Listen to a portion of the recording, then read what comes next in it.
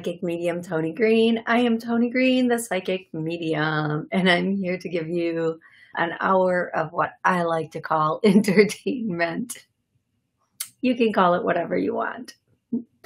Okie dokie.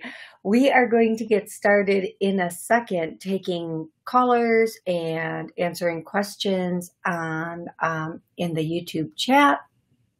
Um, lot to cover today. First and foremost, if you are, have a called in, um, when I say your area code, please uh, just give your name and your where you're calling from, and then have a question and or a um, connection available. My brain is on slow motion today. Then I hear that song, slow motion with it slow motion with it.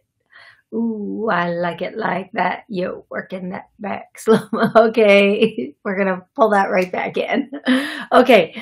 Um, uh, I will never reach out to you on any social media venue. Please do not be um, scammed by anybody pretending to be me. Um, and also, what else? What else, guys? What else do I normally say at the beginning of the show? I I don't know. But anyway, we're going to get started. There's so much going on in the chat right now. I want to say hi to Genevieve. Hey, Genevieve. I can't wait till Genevieve's on the show.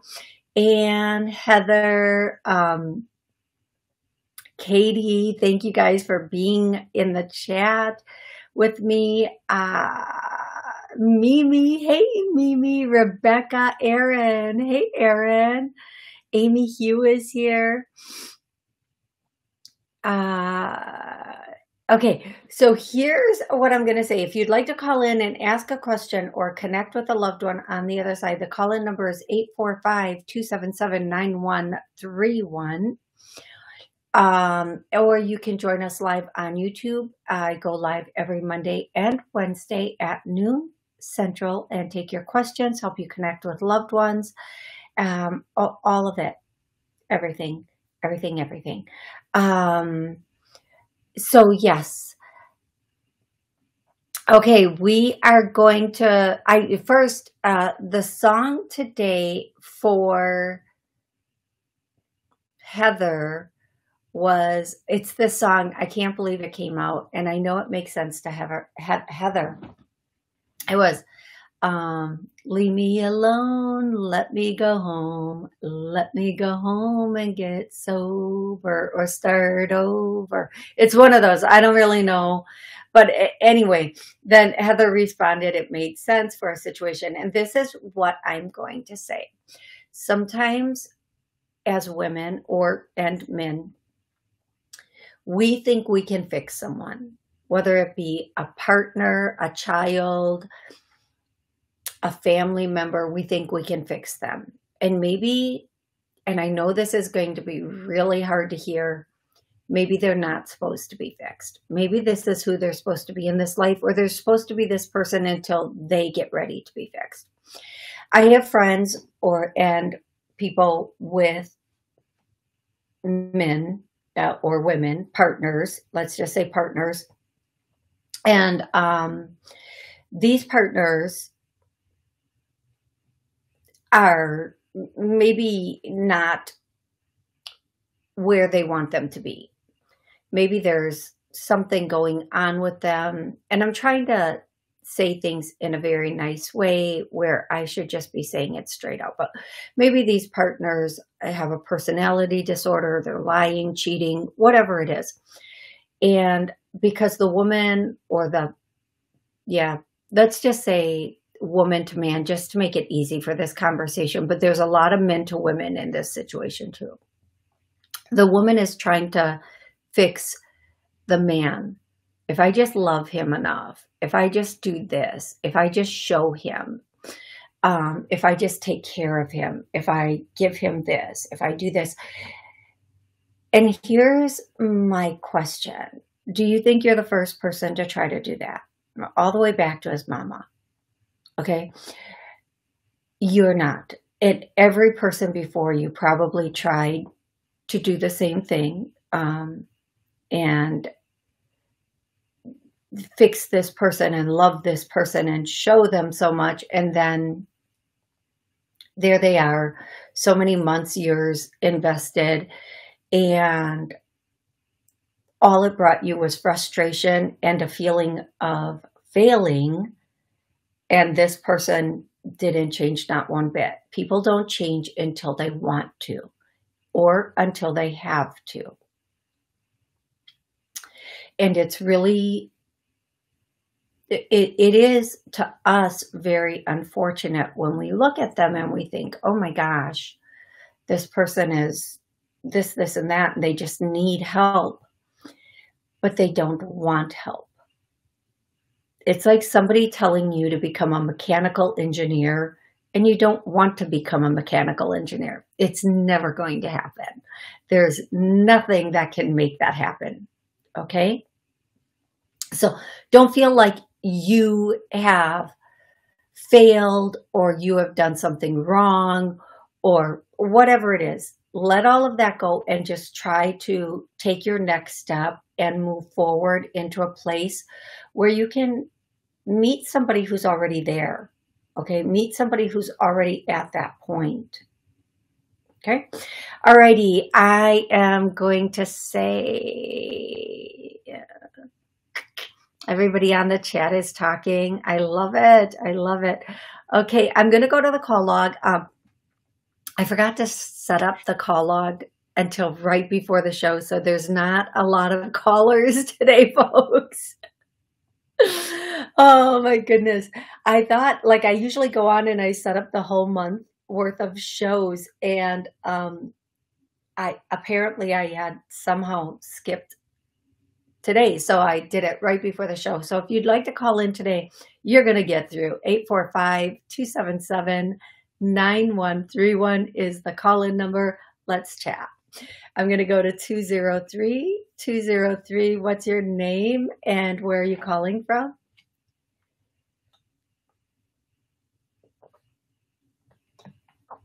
Or maybe, maybe let's not chat. Okay, I'm going to go to 262. 262, what's your name and where are you calling from? Hello. Hi there. Hi, it's Amy. Hey, Amy, what's going on? Uh, I just remembered your show was on and I dialed in, so awesome. I'm ready. Okay, so I have a I have a question. I feel like uh, again, stress stress at work, but um, I'm just wondering if the stress at work is like, are they gathering data to fire me, or am I just no. a little paranoid? No, I don't think they're do. No, they're not doing that. I get it instantly. I get a no, but I do get that you are. um It's not paranoid. I think it's today's. Pissed off. Well, I think well, I think in today's world, nobody feels secure in their workplace nine times out of ten. Okay. But um yeah. I do feel like and I do feel like so don't think of it as being paranoid. I do feel like your workplace isn't always the most cohesive space. It isn't a space nope. where people feel good and safe and and have that camaraderie. What I will say to you, however, is you know go in do your job and keep your keep your nose clean you know whatever however they would say that um and allow yourself to to be in that position that you're in and and um just knowing everything's going to be okay and it's going to work out okay okay i i kind of i stood up for myself and i feel like my boss acted like she was all offended you know sort of like the narcissist response to you setting a boundary and saying, I won't be talked to that way. Yeah. Um, I didn't exactly say that, but I just said, well, what do you mean by that? Because, you know, what I'm hearing is this. Well, I never said that. Okay. You know, and I said, well, you don't have to say it when your tone says it. Yeah. And I think it's fair in any conversation to ask, what do you, how, how do you mean that? Like, I know a lot of people say, what do you mean by this? And I always say, you can always change one word and change it from like an attack to a conversation.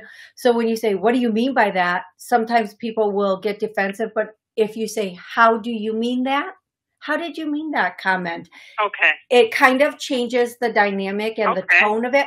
Now, I'm not saying you did anything wrong. I think it's fair before a person makes an assumption to ask, hey, well, I want to make sure we're on the same page. What did you mean by that?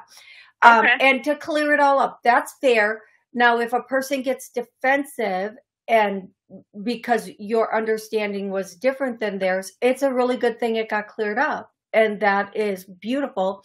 And just say to, to your boss, just say, hey, thank you for clearing that up for me. I'm really happy that you did.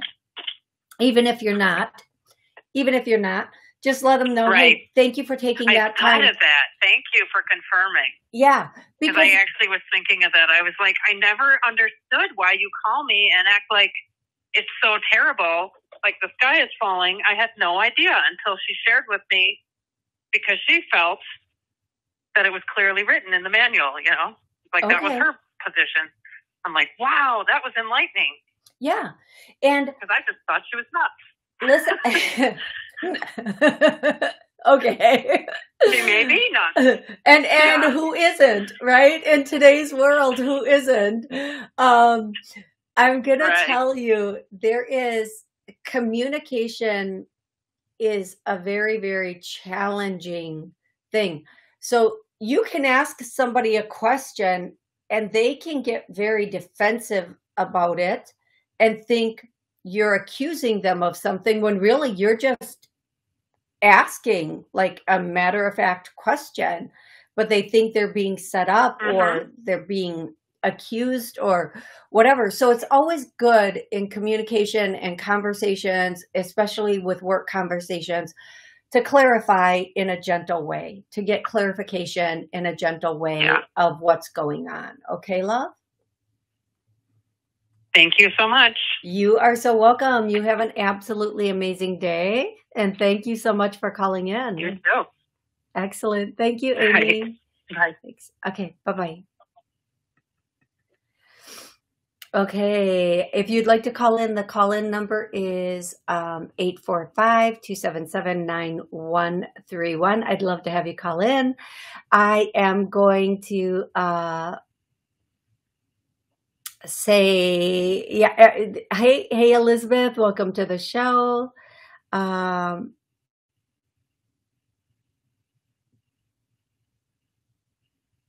So Elizabeth wants to know, can I help connect her to a family friend? She called Aunt Debbie. Yeah, I can. Um, and Elizabeth, actually, more than one person is coming in for you. And, or this is Aunt Debbie. Um, I'm seeing a woman with short, dark hair that was pretty um, healthy, um, pretty healthy, uh, a fuller a much fuller woman is the first person I'm seeing. Now that could be Aunt Debbie, that could be somebody else on the other side. I'm not sure, but I know Aunt Debbie is here also. Who you called Aunt Debbie is here also.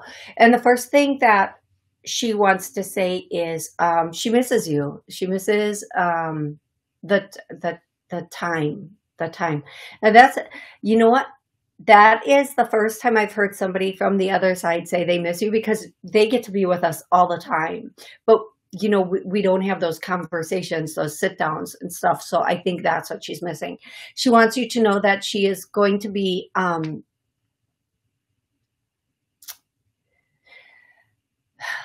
okay, she's going to be, I'm, I'm trying to understand exactly what she's saying, but she's going to be something about a graduation and taking and talking. So these are the three words that I'm getting. Um, please let me know, um, Elizabeth, if these make sense to you. But something about a graduation, taking, and talking. Um, I'm not getting a lot more from her than that. And please let me know if you, if Debbie was a little bit of a fuller woman or if there are two women here for you. Okay. Thank you so much, Elizabeth. I know that that probably that that's not as much of a message as you get if you call in, but that is what I'm getting for you. Um, I'm going to go to 561 and then Emily, I'm going to answer your question. And if you asked a question earlier on, or no, Aaron is next. I'm going to go to Aaron, Aaron's question next, but I'm going to go to 561 first. 561, what's your name and where are you calling from? Hi, Toni. This is Stacy. It's raining out in Florida. um, so uh, my my question is, um, um, you know, where I work um, in the next building, um, a guy had asked me out and gave me his number, and I just want to know um, if I should because he's not in my building or anything, doesn't work with me, but um, um, I don't know. You know what I'm saying? Yeah, I do. Like it's, like, it's like uh, eclipses and retrogrades. His name begins with an R. I was wondering what you see about this. Okay, so I think uh, here's what I'm going to tell you. Um, mm-hmm. I, am going to give you the the the the the little bit of talk before I give you the answer. The well, the answer is yeah, go out, but make it very casual at first. Say, yeah, you know what? I'd love to meet you for a cup of coffee just to see how he is during that cup of coffee and see, get a vibe outside of work. Because I'm going to tell you something professional, being at work, people have one personality. Being out of work, people have a completely different personality. It's the work person. Oh and, no, he doesn't work with me. Oh, he, he no, he doesn't work with he me. Works he works in the works next in building, a different building in a different right. company. Okay, but here's what I'm saying. I w- I'm gonna try to explain this uh, in a different way. Then, even if you don't work at the same company, when you meet somebody and it's and maybe I'm misunderstanding what you're saying, and I apologize if I am. Start slow. Here's what I'm gonna say start slow, go for a cup of coffee, get to know the person and their vibe, who they are. Take this a little bit slower so that you can gauge it. But I do feel like you should go out with him. Okay. Um, but, and they're saying for some reason, start with a cup of coffee and then let him take you to dinner or then let him take you on the other date that he would take you out on. But start with a cup of coffee. Okay is is what I'm getting. Yeah, I mean, yeah, because it's like the, the, timing now. I mean, I don't want to look like an idiot calling him in a month, but it's because it's like retrogrades coming up, and every time a retrograde comes up, I get, you know, everything doesn't work out. Well, okay, so here's the thing. Some some planet is always retrograde. Some planet is always conjunct. Mm-hmm. So don't let that affect it. And it depends on, we're also going into an eclipse and we're also going into this and we're, and it depends on where this retrograde hits and this and stop. Just don't let that do it. And don't use that as an excuse not to move forward. Instead, just go like it's any other day. Um, retrograde my understanding and i'm i don't like to buy into these things because i it, i mean it happens every whatever for six weeks. How do you stop your life for that long? You just you can't especially if you're in in a where you do contracts and sales and uh, you're in a you just can't. But retrograde it can affect electronics. It can affect conversations or communication, it can bring people from the past back. Like they'll be more reminiscent about you and maybe reach out. But there's, don't buy into, oh my gosh, it's a retrograde. I can't, I can't do this. What if you miss the best opportunity of, I'm not saying it is, but what if? And it, I truly believe if something's meant to work out, it's going to work out regardless of the timing. So don't let that astrological thing um, stop you because what are you going to do for the next four weeks or six weeks or however long this lasts, what are you going to do? I mean, you're just going to sit and no matter who you meet, you're going to just not do anything, not sign any contracts, not. No, we have to live. We just have to live our life regardless of. We have to get out there. I always say, there's one person who told me about retrograde, and I wish I never would had known about it. I wish she would have never told me. And she told me about this other stupid thing called moon void of course, where anything you do during that that second or that minute will never happen. But that that moon void of course happens like five times a day. Like what am how do you even live like that? You don't. You just let it go and you live. You just live. I mean, I know that that sounds, a lot of people live and die by astrological stuff. I'm just saying, go have a cup of coffee. If it's meant to be, it's going to work out. Um, and not every retrograde has the same effects. Plus, we're going into an eclipse, which is supposed to be one of the best eclipses. It's like cleaning up all the eclipses of last year. So go do it. Just have a cup of coffee. Okay. All right. Okay. Yeah, because you know I I haven't dated in a long, long time. okay, and I think that's actually the thing. I think that's actually the thing. I think it's because you haven't gone out on a date in a long time. You're looking for a justifiable reason to not go out on a date. So just make it casual and don't look at it as a big, heavy date. Um, that's why they're saying coffee um, look at it I'm going to have a conversation to find out a little bit more about this person.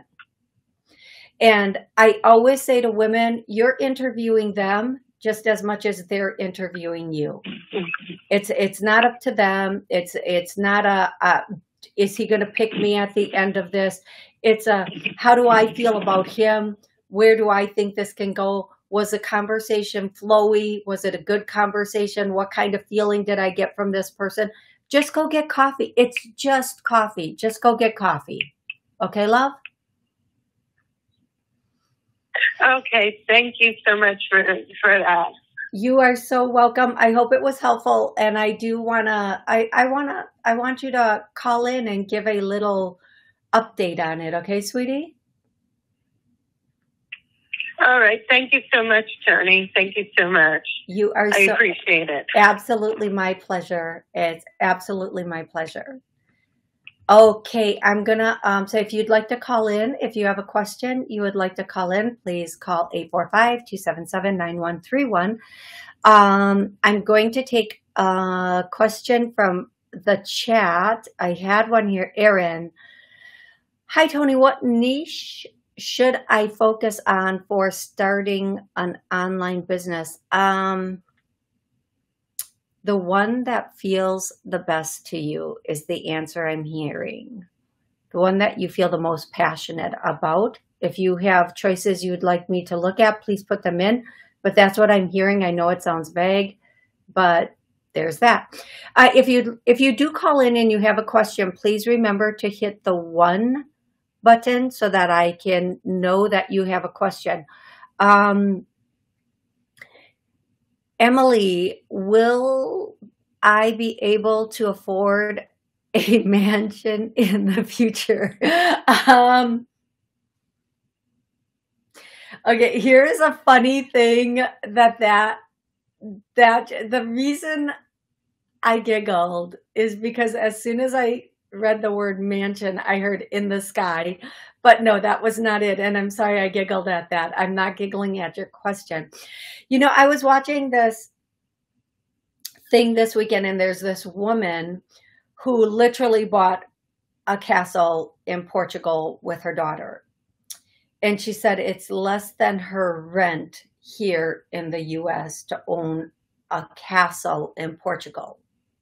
So, Emily, my answer to you, you might not like, but the true answer I'm going to give you is it depends on where you want to buy it. You want to buy it in Florida, it's this. You want to buy it in Idaho, it's this. Um, and why do you want a mansion? That's spirit, not me. I know why you want a mansion. but that's spirit. Um, make sure whatever you're getting, you're getting because it's in your heart, if that makes sense. I, I don't know. Okay. I hope that's helpful. I don't feel like it was the answer that you wanted, but I feel like it's the answer that you needed. Okay. I, but I do feel like if you want a mansion, I personally, me, I feel like if you want a mansion, go for it, go get it.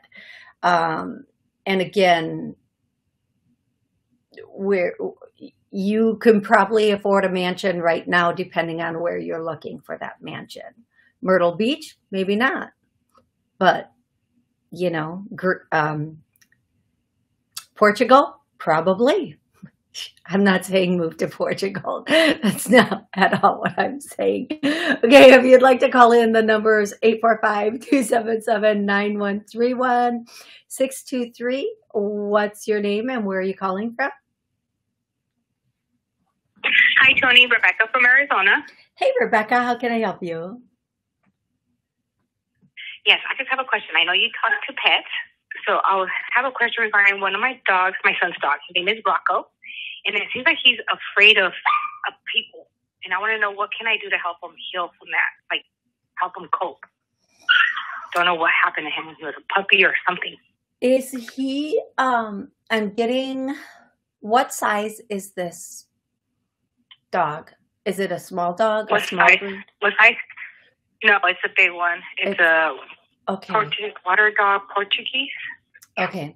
I'm also seeing a small dog. I don't know why I'm seeing a small dog, but I'm yes. seeing a little dog. I have a lot of dogs, yes. Okay. I have a little one, honey. okay. Uh, thank you.